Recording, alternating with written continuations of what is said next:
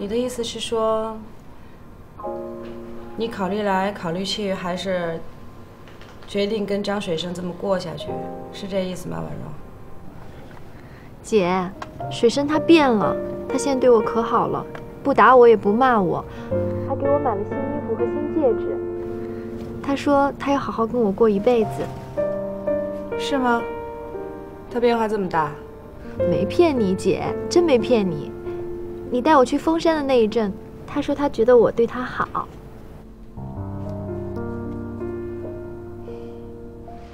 别说我了，说说你，反贪局一直盯着你吗？啊，方大庆副局长的职务被免掉之后，他们人都撤了，还是老领导棋高一招啊，扬汤止沸不如釜底抽薪。哈哈哈。他们现在自顾不暇，也就顾不上我了。这叫借力打力，擒贼擒王。以前我都说过了，如果对方不识相，就坚决摧毁。这是你死我活的斗争，不能心慈手软。老领导高瞻远瞩啊！嗯，崔鹏虽然死了，但是他的事儿啊，并没有完。听说检察院抓住。他在四季乡开发高尔夫球场的事不放。如果再这么查下去的话，金雷和他的朋友们都会受到牵连。我呢，一直不同意金雷做生意。环保局上班不挺好的？一定要下海，结交一些不三不四的生意人，还搞什么高尔夫球场？哼，太招摇了，让人操心呐。老领导，您这个话。说的不太对吧？生意人怎么就不三不四了？您在国企当领导，不也是生意人吗？您不要对生意人有偏见，只要是合法收入，啊，致富光荣嘛，哈哈，是吧？你误会我的意思了，我是说可以做到其他的，比如说搞棚户区的开发，名声好又可以赚钱。在中国做事呢，首先要考虑影响，不要做出头鸟，不声不响的把钱赚了，那才是高人。您说的在理，但是啊，在商言商，做生意嘛，什么利润高就做什么。棚户区改造和开发高尔夫球场不能比呀。但现在和以前不一样了，太扎眼的事儿啊，尽量少做。一旦让媒体盯上，把它无限一放大。被有关部门一查，没事儿啊，也得给你查出点事儿来。唉，小心驶得万年船呐！我呢，就跟你不一样了，活得多潇洒呀，老婆孩子都在外边。怎么样？最近他们还好吧？嘿，他们过得可悠闲呢。现在让他们回来。反倒就不习惯了。我想找机会休两天假，出去看看他们。两年多没见孩子了，挺想他们。你想出去啊？我就随便一想。我知道现在工作一时走不开，就算是个愿望吧。冯路啊，你裸官的问题一直有人反映，是我帮你压着。幸亏准备的早，现在这个时候出国不合适，有人会借题发挥啊。领导也不会批准。我知道，我就随便一说，您别当真。为什么不当真？工作那么辛苦，又担心又害怕，是该散散心呐，和家人团聚一下。您的意思是，坐，来。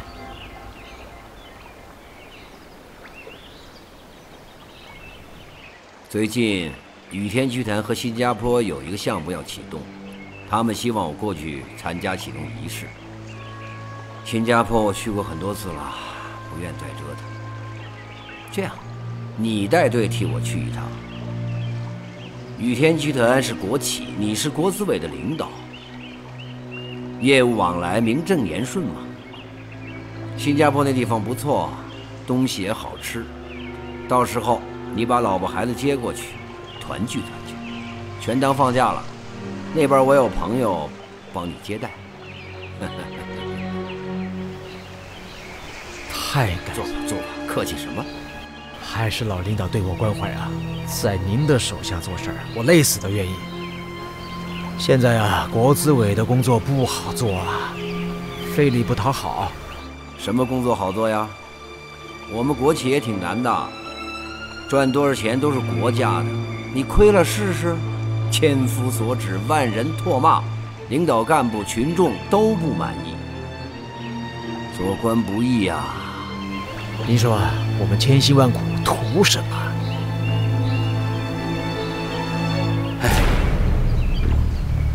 图的就是自我价值的体现，图的就是一呼百应的这种存在感，图的就是几代人衣食无忧。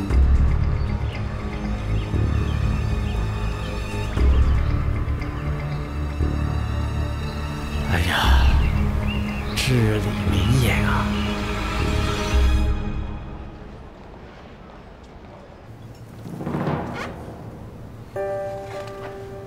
这是你老公吧？这是他和我女朋友陆丽青的照片。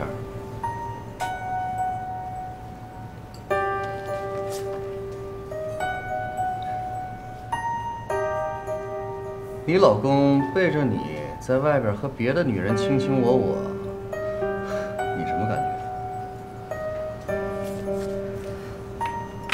我看过了，你想怎么样？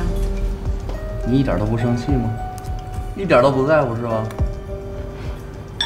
几张照片什么都说明不了。你可以对感情无所谓，但是他俩有两个案子牵扯到你，这个问题就严重了。说来听听。据我所知，网络骗婚案和运输毒品案，你和你的同事是这两个案子的公诉人，而陆立清也是这两个案子的辩护人，没错吧？没错。那你仔细回忆一下，在法庭上，控辩双方质证的过程当中，是不是有那么一点不对劲啊？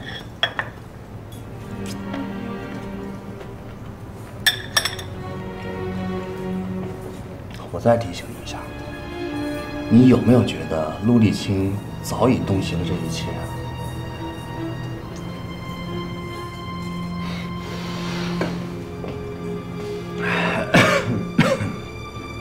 我实话告诉你，你老公刘文把你的材料都给了陆立青。你女朋友告诉你的？她不仅是我女朋友，我还是他曾经供职的律师楼的老板。他能对我隐瞒什么呢？律师楼的老板应该多少懂点法吧？你刚才说的那些有证据吗？调查取证是你的本行，你行我不行，我也就帮你到这儿。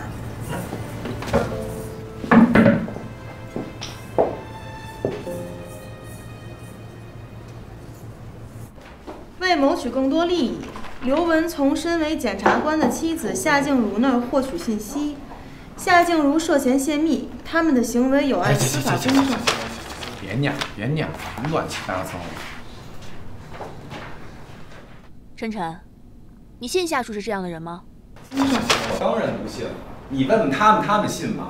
你们信吗？根本不可能。说夏处泄密，打死我也不信。但要说是刘文，那就说不准了。哎，你这话不对啊！姐夫平时对咱不错，对吧？上次过生日，人家还给你买的单。再说了，俩人都是干这个公检口的，怎么可能犯这种低级错误呢？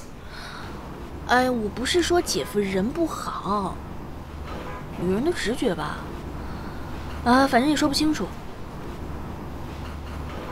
对了，你说我们这事儿跟夏楚说吗？我知道了。每个办公室都有，我怎么能不知道呢？什么时候进来的？刚刚。动作倒挺快。查呗。这有什么可查的呀？这不是典型的栽赃陷害吗？啊，说您泄密，您要是这种人，那我这世界上还真没有什么可信的人了。光你不信没用啊，必须得查，我得全力配合。开会吧。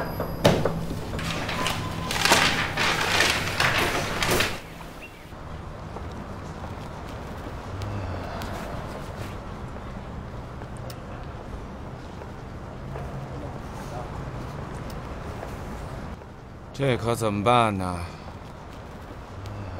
想想我头都大。夏叔说要认真对待，我们也应该重视。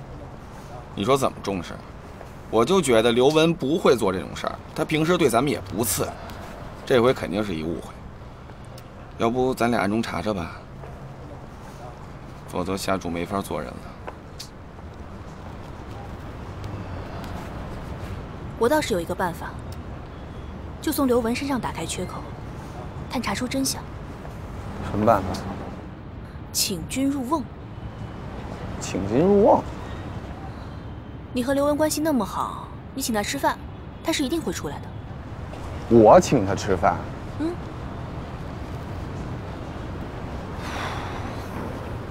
看来也只有我请他吃饭。不然呢？难道是我请啊？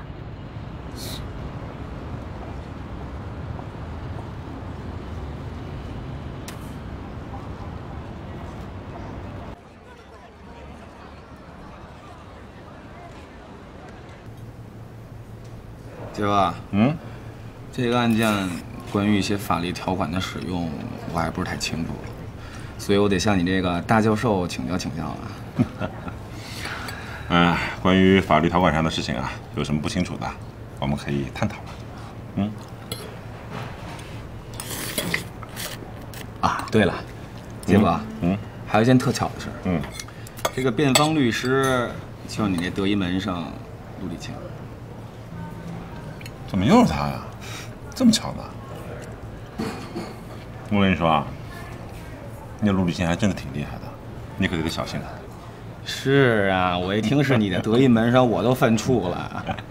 没事有什么事情啊，你尽可以找我，咱俩探讨吧。行，那我先谢谢你了。哎，喝一个，来，来。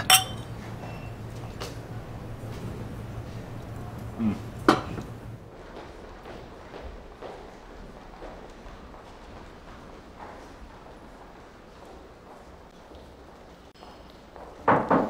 进来。哎，小姐，你找我？来来来，坐。哎刘海勇在香港账户上的钱终于有下落了。看看这个，香港廉政公署传过来的。这是加拿大当局在调查一笔洗钱案件的时候，发现一笔从香港转来的大笔资金。当事人名叫陈香兰，这个人是以投资移民的方式入了加拿大国籍。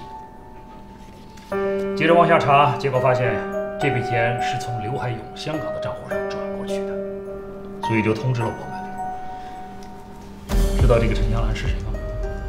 冯路的老婆，是那个陈香兰吗？就是她。五年前，她就从单位辞职了，做了全职太太，陪着女儿在加拿大读书。她根本就没有什么收入，这么大一笔钱怎么来的？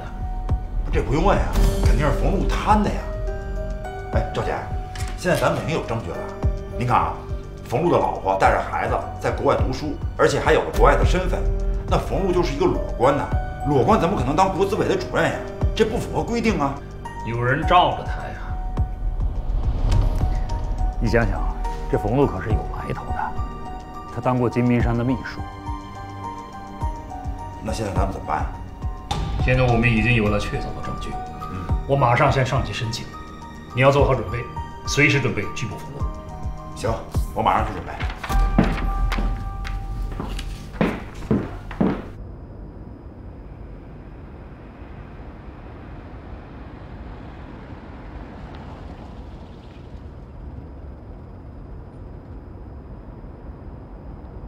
上去坐坐吧。不了，我还得赶回去给夏静茹做晚饭呢。真是让人羡慕。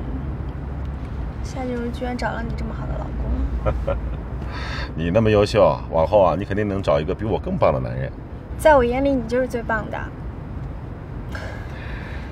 唉，与其找个人凑合，那我还不如自己过呢。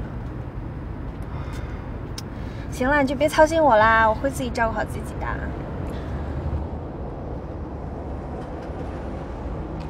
最近那个渣一男还在骚扰你吗？这几天没有，我搬家就是为了躲他。哎呀，可是这样下去也不是个办法。要实在不行的话，你就报警吧。绝对不行！要报警的话，他就把视频发到网上去了。他现在的行为啊，已经涉嫌敲诈勒索。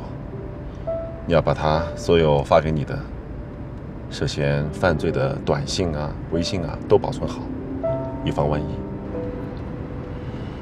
我知道了。那那我先上去了。你开车小心点啊！哎那女的下车了。开车小心啊！啊。这这什么情况啊？这是？带手机了吧？哦。哦。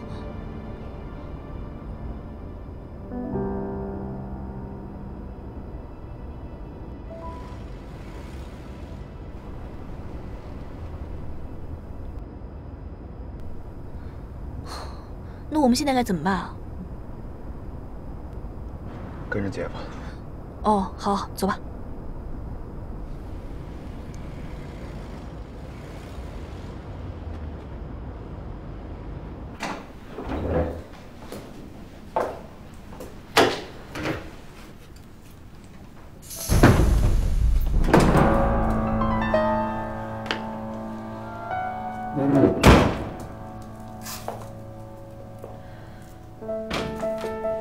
哎呀，房子不错呀啊！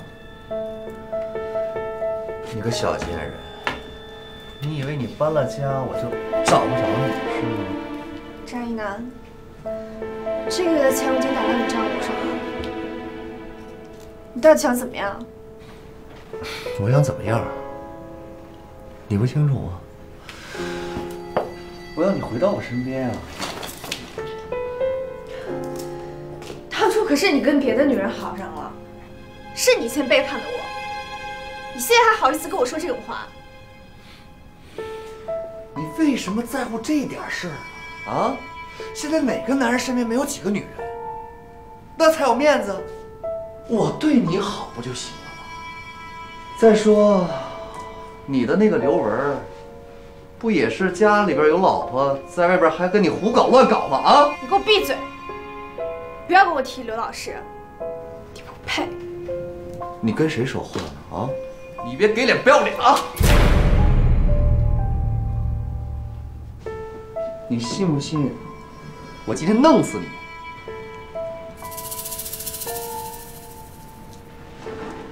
你弄死我吧！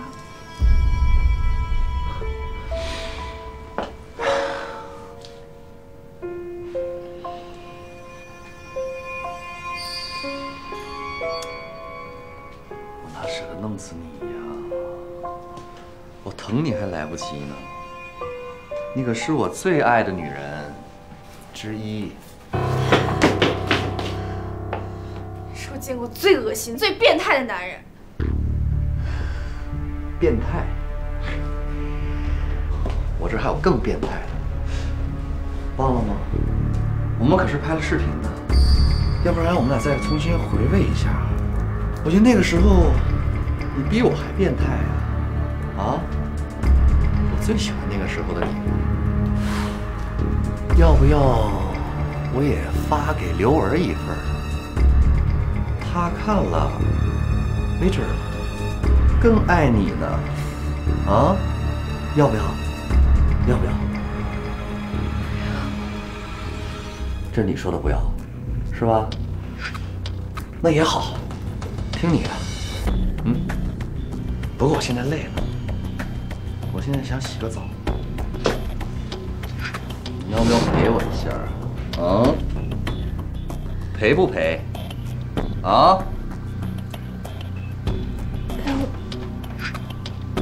具体方式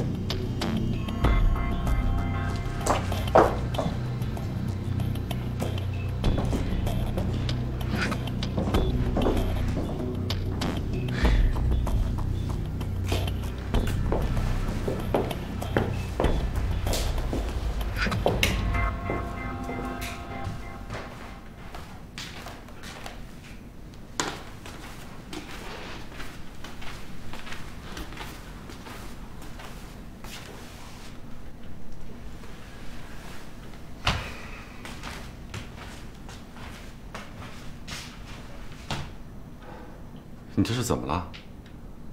回到家这么长时间，一句话都没有啊？是不是我哪招惹你了？你说嘛。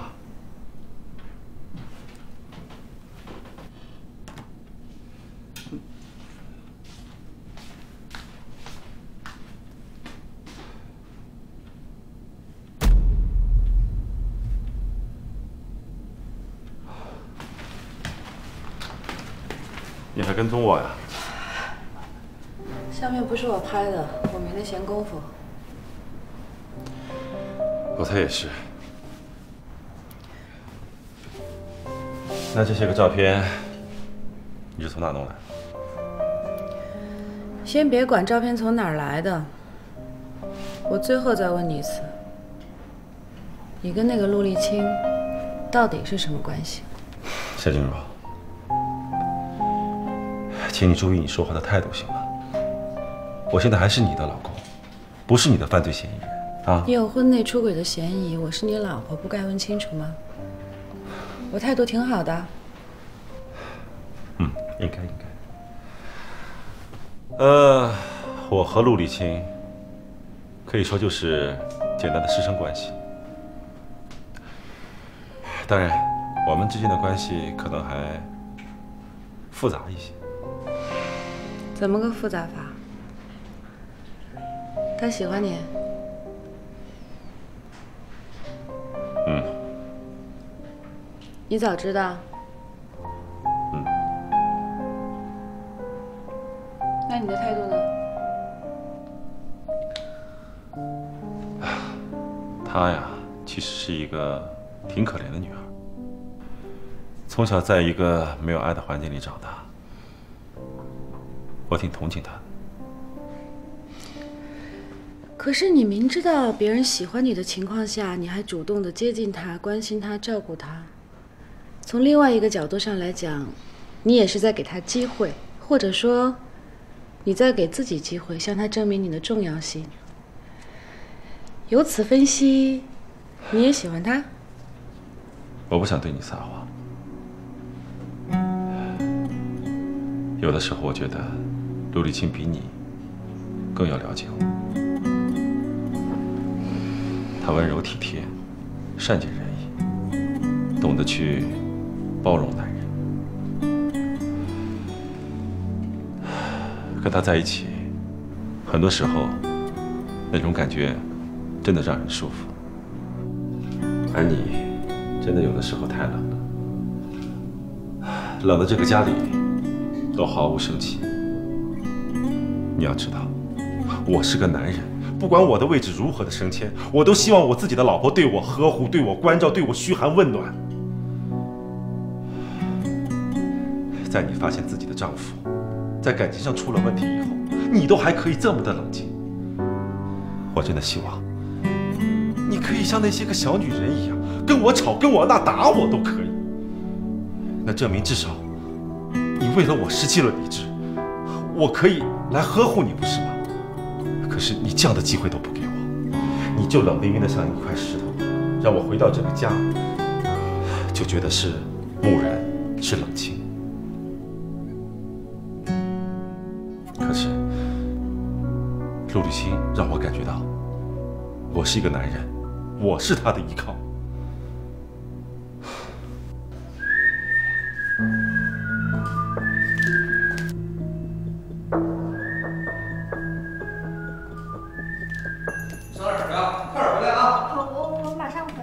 我也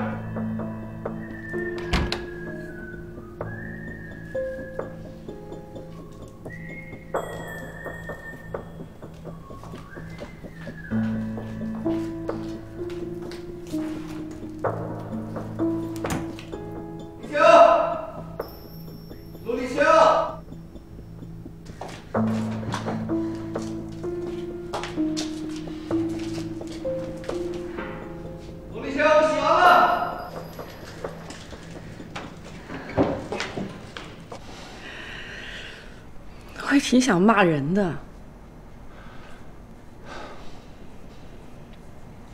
但是不管怎么样，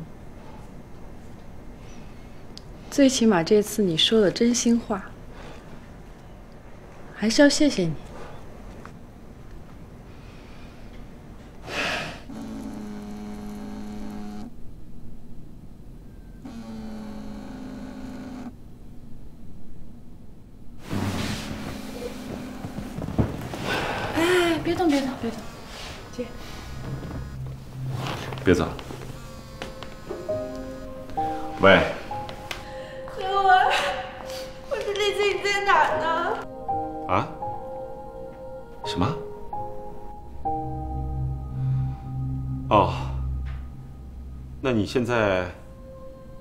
紧出来吧，找一个咖啡馆等我，把地址告诉我。嗯他出什么事儿了吗？陆丽琴说，她的前男友对她恐吓威胁，要勒索她。她那前男友叫扎一男吧？你怎么知道？照片就是他发给我的。他还跟我讲，你会从我这里获得一些信息，告诉陆丽青。没有，绝对没有。我和陆丽青在一起讨论过一些案子，但是没有什么机密，而且我也不知道什么机密。我能够掌握的材料，无非都是以前的一些经典案例而已。有可能是小陆比较聪明，得到一些启发吧。我会向你们单位的纪委说明情况，你放心，我不会牵累你。陆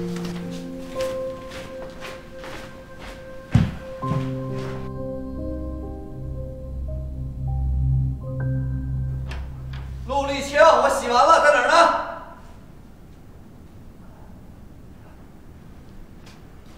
陆立青，你聋吗？陆立青，陆立青，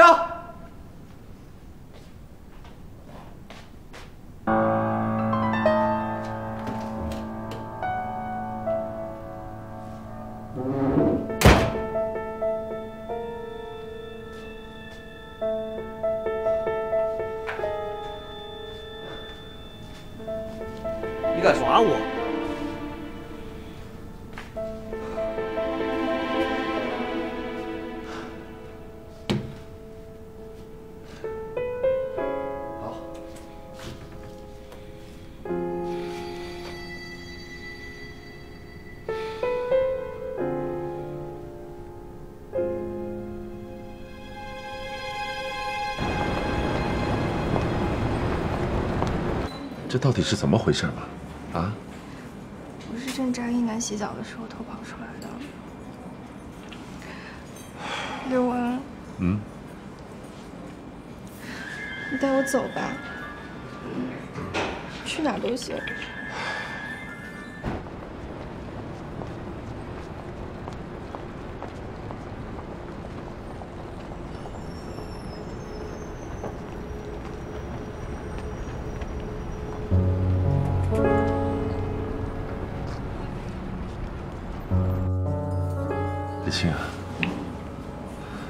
这么躲避肯定不行。我觉得还是报警吧。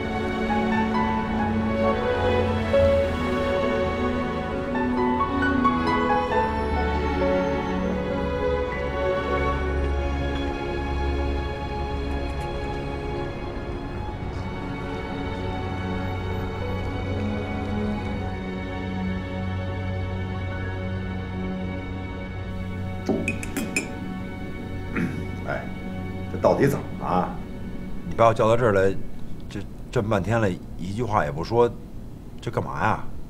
出什么事儿了？我是不是特别差劲啊？差劲？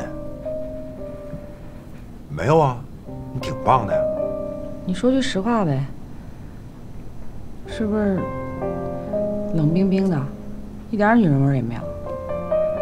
怎么就冷冰冰的了？哎，你对一个那个不认识的受害者还能抹眼泪呢？怎么会冷冰冰的呢？别骗我了，我不善解人意，不解风情，什么都不是。这些都是谁说的？刘刘文说的吧？那刘文肯定说气话呢。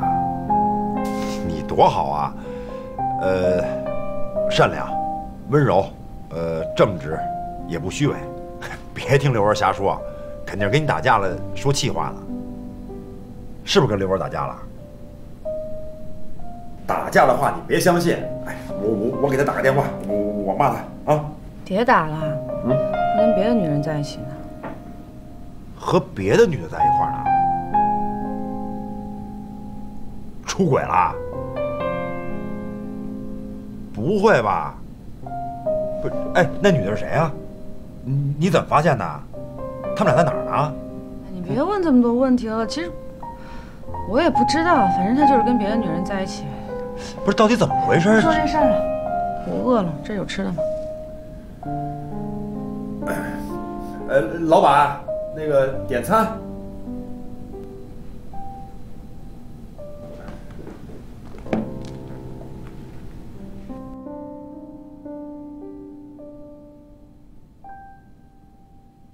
夏叔，关于扎一男举报的事情，我们了解清楚了。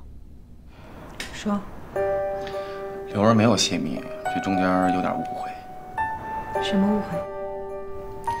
是这样，院里呢来了棘手的案子，我们就去向刘文请教。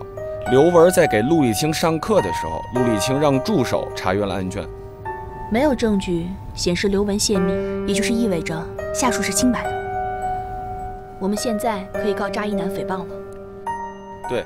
我们在了解刘文细密的过程当中呢，发现这个扎衣男呢利用不雅视频对陆地清进行敲诈勒索。现在这个视频已经传到网上去了，公安局已经立案侦查了。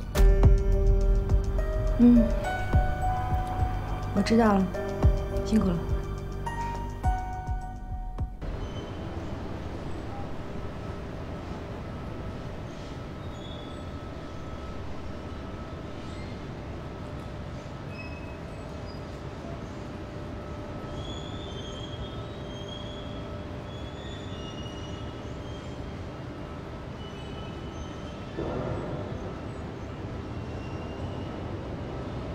哎，没事吧？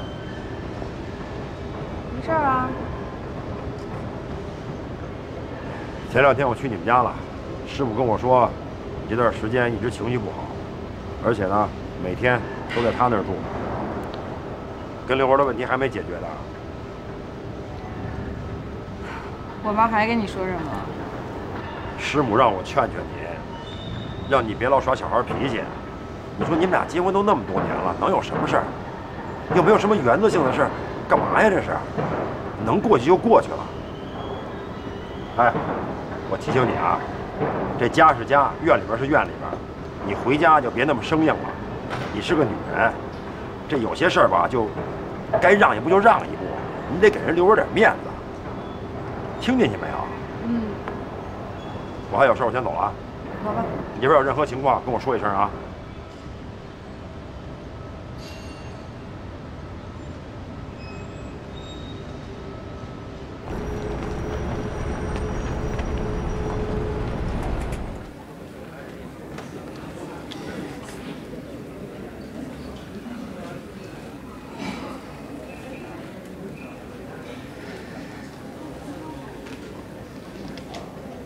上次你在家里说的话，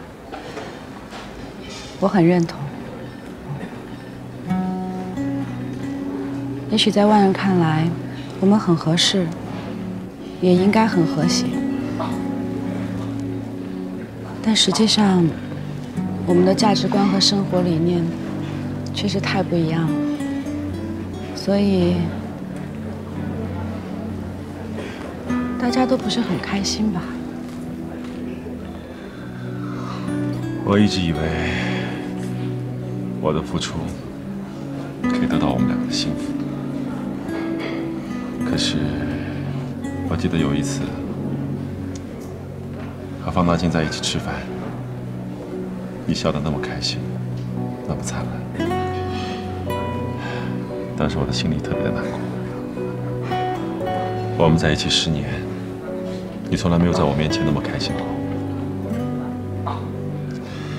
我是和你说过，我喜欢陆立青那样的类型，所以我觉得你应该喜欢像方大庆那样的男人。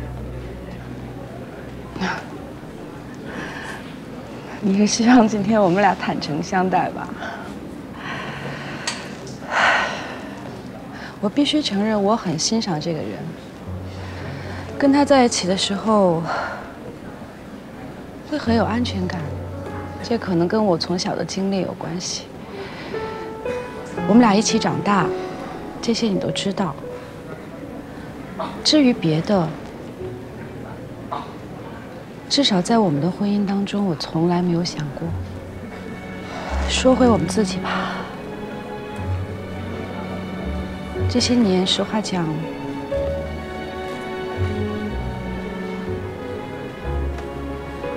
大家都挺压抑的，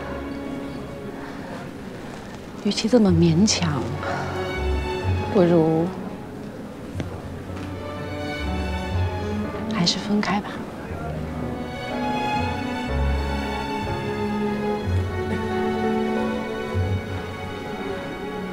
也许分开会让我们彼此之间更好一些。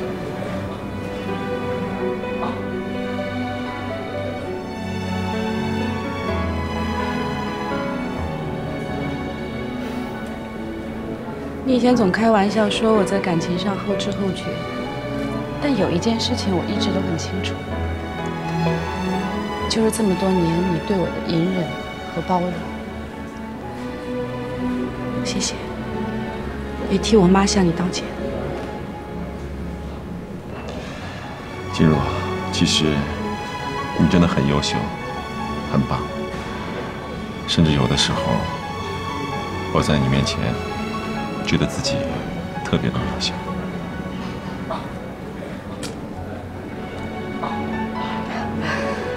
你是一个各个方面条件都那么好的人，你说你在我面前觉得渺小，这不是你的问题，是我的问题。我这个妻子当的实在是太失败了。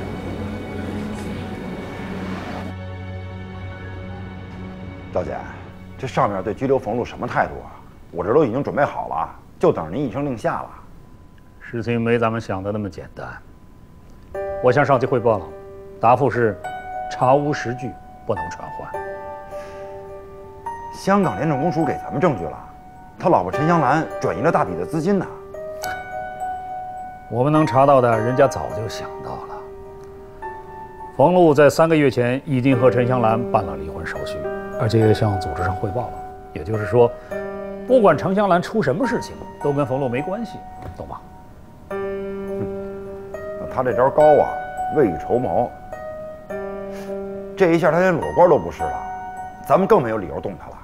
理论上讲是这样的，而且我还有个消息，下周冯路要率领燕都雨天集团的一个代表团去新加坡，参加一个合作项目的启动仪式。这是不是有外逃的可能啊？完全有这种可能。可是我们现在手里没有证据啊，也不能动他。那我得尽快的找出证据。赵姐，我明白应该怎么做了。抓紧吧。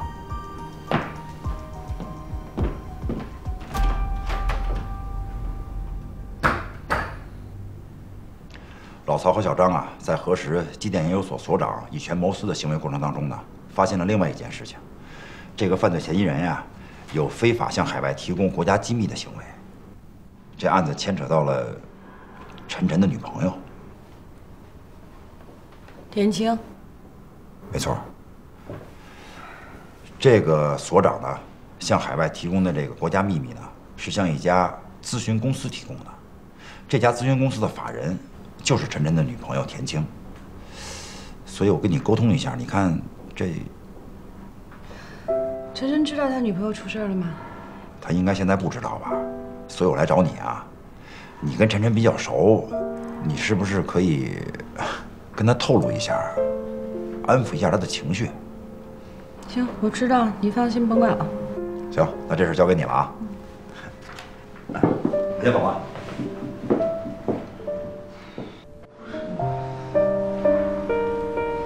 管用吗？坐下。有什么话你给我坐下说。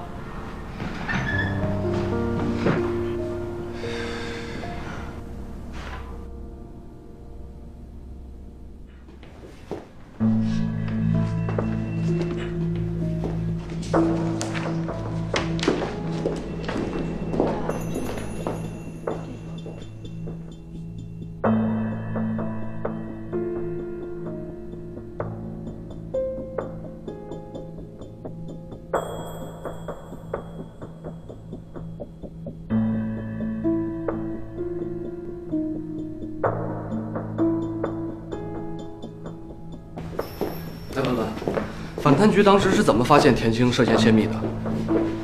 你把这些都拷贝一下。是在调查陈文斌贪污案的时候偶然间发现的。嫌疑人陈文斌是军工企业飞燕公司产品研发部的主任。据他交代，在是在三月七日晚，他前往一家酒店就餐时，随身携带的手提包在停车场被人抢走。陈文斌随即向案发地的派出所报案。他在陈述包内物品时，隐瞒了包内移动硬盘中含有涉密内容的重大事实。之后，陈文斌也未向所在单位报告这一突发事件，更没有采取任何有效的补救措施。在二零一四年的六月，公安机关抓获了抢劫陈文斌的人，并起获了上述移动硬盘。陈文斌到公安机关核实情况时，谎称硬盘中含有的是商业资料。而此时，硬盘中的涉密文件和资料已经失控了长达三个月之久。飞燕公司的监察部门怎么会这么大意？这是严重失职啊！归根结底就是保密意识差呗。尽管陈文斌有香港永久居民的身份，与境外人员交往密切，但经过有关部门的认真排查和分析，并没有发现他向境外情报机构或间谍人员故意提供国家机密的证据。这也算是不幸中的万幸了。你看，卷宗上显示，陈文斌曾用个人非涉密的计算机处理涉密信息，同时还连接了国际互联网。经检查，他使用的计算机中有病毒。技术数据表明，计算机上的涉密资料已被他人通过互联网窃取。同时，有关部门经反复审查鉴定，陈文斌被抢的移动硬盘中涉及国防武器装备的材料七十五份。其中，机密级八份，秘密级六十三份，内部资料四份。不看不知道，一看吓一跳，太可怕了。陈文斌已经被刑事拘留并批捕。我们在与陈文斌有业务往来的客户名单中，发现了田青的名字。现有证据表明，田青涉嫌为境外公司非法提供国家秘密赚钱。我怀疑陈文斌是被田青拉下水，他们曾经是情人关系。啊！晨晨遇人不淑啊。行了，少说两句吧，忙你的去。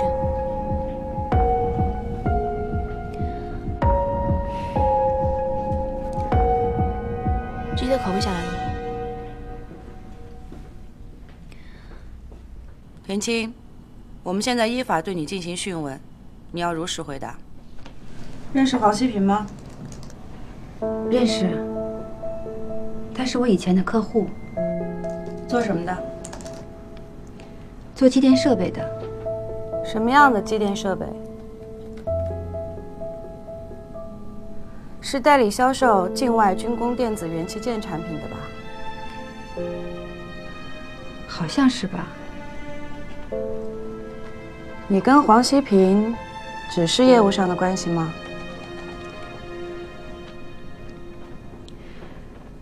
我们曾经谈过一段时间，可后来我发现他有家庭，我们就分手了。你的公司平时都做什么样的业务？什么挣钱就做什么呗。黄希平把你领入了军品销售的大门，后来你慢慢熟悉了这里边的门道，就从原来的公司辞了职，拉走了客户，自己开了公司，也做军品代理销售。是，我就是正常做生意，没做什么违法的事儿，正常纳税，从不拖欠员工工资。你跟陈文斌的事情怎么解释？我承认，我跟陈文斌是情人关系，还有经济往来。可我们做生意，一个买一个卖，就这么简单。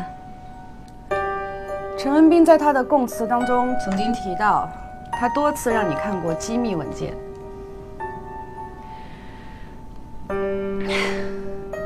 他是让我看过一些文件，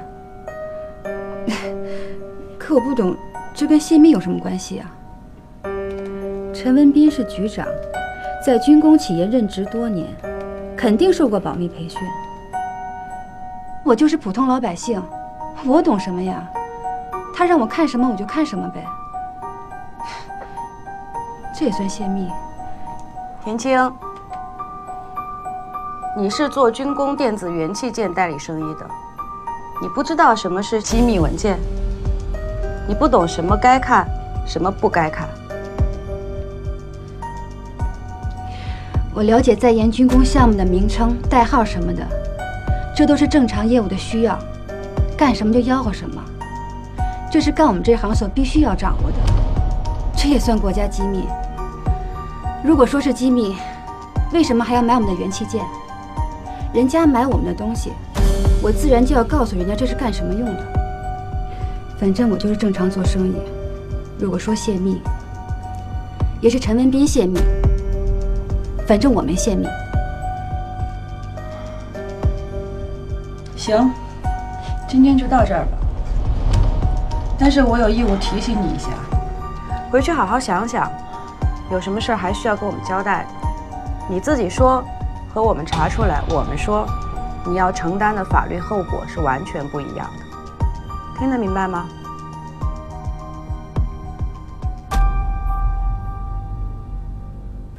夏叔，你说晨晨怎么会看上这样的女人呢？她到底有多少个情人？我怎么觉得他有色情间谍的意思？这个女的可够精明的。是啊。连晨晨都被他玩得团团转，他可真是不简单。这么精明的一个女人，把自己装得这么无辜，这恰恰是最大的问题。走访田青公司的销售人员和跟他业务相关的所有人员，调查取证，从旁证的角度来证明他主观意识上知道自己搜集和泄露的材料为国家秘密，其行为就是泄密行为。嗯，明白。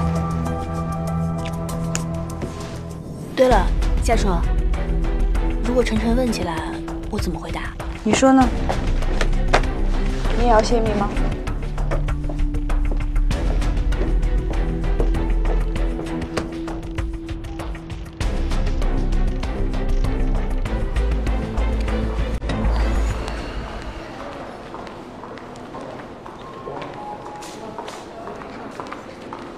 喂喂。走吧，明天见啊。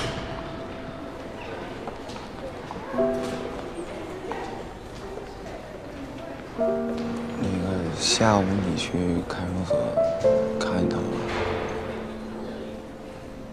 看着了。他怎么样？不怎么样。什么叫不怎么样？其他的无可奉告。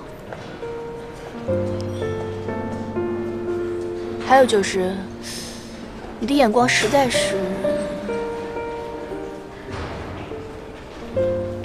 算了，我还有事，先走了。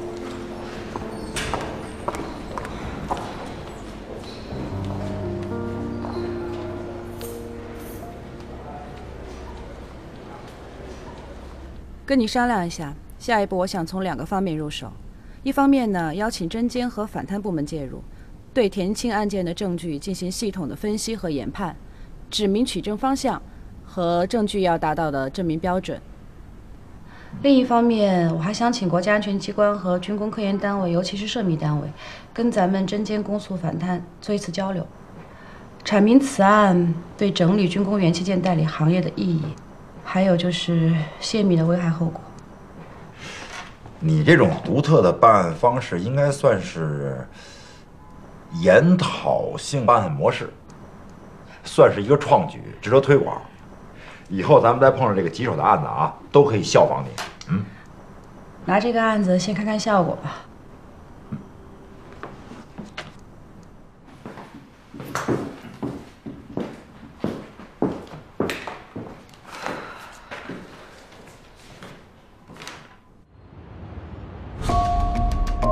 公诉人建议，根据我国刑法第三百九十八条之规定，根据已查明的本案的事实、证据、情节和相关的法律规定，以故意泄露国家秘密罪，对田青作出严正判决。辩护人认为，田青不知道那些文件是涉密文件，也没有主观上泄密的故意。田青作为军工电子元器件的代理，了解在研军工项目的名称、代号等信息。是属于正常业务的需要，是从事这个行业必须掌握的。这就如同卖酒的，如果连自己所卖的酒是白酒还是红酒都搞不清楚的话，那岂不是贻笑大方了？有证据表明，田青提供给客户的文件上都标有“机密”二字，这个怎么解释？相关客户既然要购买田青代理的文件，自然要问清他干什么用。这有什么不对吗？田青是义务向客户解释清楚原件的性能。田青了解简单的使用用途无可厚非，但是通过我们的调查，除了田青提供给客户标有“机密”这个字样的文件复印件以外，我们还从相关人士的电脑硬盘当中提取到了田青发给对方的涉嫌泄密的电子邮件。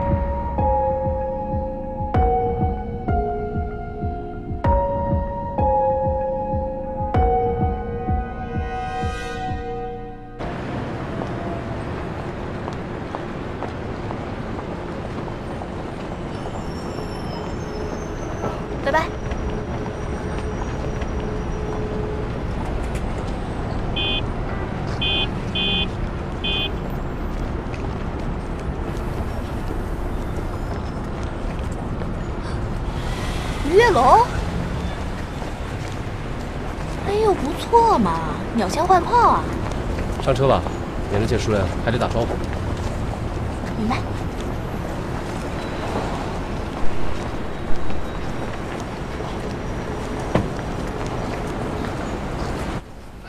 听说你最近不是挺忙的吗？怎么突然想起来请我吃饭？早就想请你吃饭了，就是怕被你拒绝。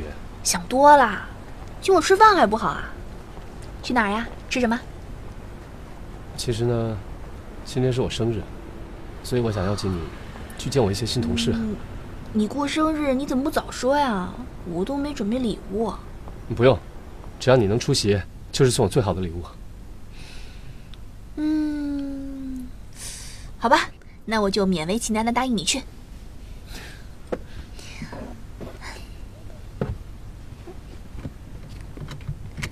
走吧。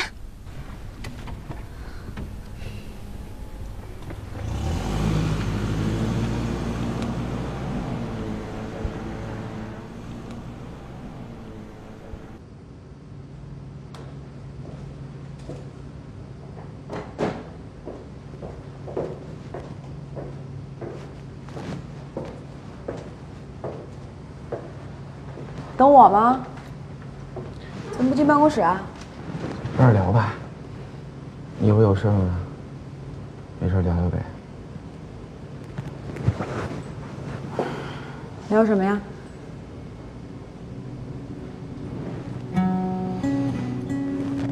田青的事儿吧。